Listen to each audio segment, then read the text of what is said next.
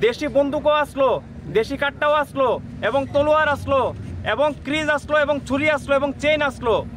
আমি দিনে আমরা কীভাবে এই কলেজের মধ্যে পড়াশোনা করুম এবং এই রাজ্যের মধ্যেও, ব্যাপারটা আজকে ওর উপরে আঘাত মানে ওর ব্যক্তিগত ওর উপরে আঘাত না। ও যখন ওর উপরে আঘাত আই- আইছে, অতর্কিতভাবে যখন ওরে আঘাত করছে, তখন কিন্তু ও ইউনিফর্মে ছিল তোমাদের মতো। তো ইউনিফর্মে যেহেতু ছিল, ও যেহেতু একটা ছাত্র, সম্পূর্ণ ছাত্র সমাজের উপরে আঘাতটা আইছে, ঠিক আছে? সুতরাং এই বিষয়টা আমাদের সুরক্ষার বিষয়। আগামী দিন আমরা কীভাবে কলেজে আমু? আজকে এটা কইতে আমার কোনো আপত্তি নাই। আগামীকালকে যদি আমার কোনো একটা বোনেরে কোনো বাজে সুলভ মনোবৃত্তি নিয়ে এসে এখান থেকে যদি গাড়ি দিয়ে কেউ তুললে নিয়ে যায় আমরা কিন্তু অবাক হইতাম না। সুতরাং কোনো একটা ভাইরও যদি এখান থেকে তুললে নিয়ে এসে যদি মার্ডার করে লা, রাস্তার পাশে যদি ফালে রাখে আমরা কিন্তু তাতেও অবাক হইতাম না। কেননা যেহেতু আজকে ও কালকে ওর উপরে এই জিনিসটা হয়েছে বিষয়টা এরকম না। আজকে ও বীর বজরঙ্গি দীক্ষা, আজকে ও কিন্তু এই একা নয় জনের সঙ্গে ও একা লড়াই করছে। ও একা লড়াই করে বীর দীক্ষাও কিন্তু বাচ্চা গেছে, কিন্তু আমরা এখানে সবাই কিন্তু বীর না।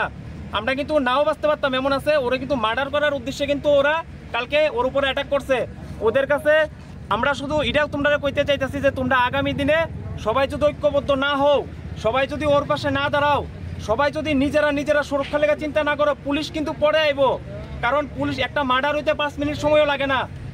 তোমরা একটা ছেলে যদি অকালে মরে জায়গা তখন পুলিশ আইব কিন্তু। পুলিশ তো তৎক্ষণাৎ এসে পাইতো না। সুতরাং নিজের সুরক্ষার কথা নিজে চিন্তা করতে লাগবো। তার লেগে তোমরা সবার কাছে আগ্রহ। আজকে আমরা সবাই বজরং দল থেকে এখানে আইছি, আমরা ভাইয়েরা সবাই এখানে আইছি। কারণ একটাই, যে তোমরা জানাইতে যে এই জিনিস তোমাদের কলেজের সামনে চলতেছে, তোমাদের একটা ছাত্র সঙ্গেই তোমাদের একটা ভাই। কেউর বড় ভাই কেউর ছোট ভাই। তোমাদের একটা ভাই কালকে ইউনিফর্মে যখন আসলো, তখন কিন্তু তার উপর আঘাত হয়েছে সুতরাং তোমরা ছাত্র সমাজ, প্রবল গতিতে, দুর্বার গতিতে এসব কার্যকলাপের বিরুদ্ধে জায়গা উঠো। তোমরা নিজেরা সুরক্ষার চিন্তা, অন্ততপক্ষে ইনিশিয়ালি তোমরা নিজেরাই করতে লাগবো। তারপরে কিন্তু আমরা ছাত্র সমাজ, যেহেতু এর উপরে আঘাত হয়েছে সমস্ত এই রাজ্যের সমস্ত ছাত্র সমাজের কাছে আমার আহ্বান, তোমরা সবাই জায়গা উঠো এবং এইসব কার্যকলাপের বিরুদ্ধে একজোট হয়ে এসে প্রতিবাদ করো। বাস এতটুকু কথাই। তোমরা কাছে কয়ার আসলো, আগামী দিনেও এর পাশে তোমরা থাকবা এবং এর যেন একটা বিহিত হয়। এর জন্য এর জন্য একদম যে অপরাধীরা তার উপরে অ্যাটাক করছে, যে আতঙ্কবাদীরা তার উপরে অ্যাটাক করছে, তারার জন্য শাস্তি হয়। তার লেগে তোমরাও তার পাশে থাকো এবং নিজেরা সঙ্গবদ্ধ হও। কারণ এখন সঙ্গবদ্ধ না হইলে পরে এইসব আতঙ্কবাদীরা তোমরার উপরে অ্যাটাক করব।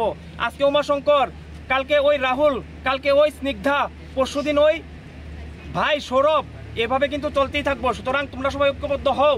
আমরা এটা চাই। আর এই কারণেই তোমরা সবার কাছে আমরা আবেদন রাখছিলাম আজকে যে তোমরা কাছে আমু, তোমরা কাছে এসে এত অসুস্থ থাকা সত্ত্বেও আজকে কিন্তু এই হসপিটাল থেকে আইসে তোমরা সঙ্গে কথা কওয়ার লেগা। সুতরাং তার লেগে একটা জোরে সবাই হাততালি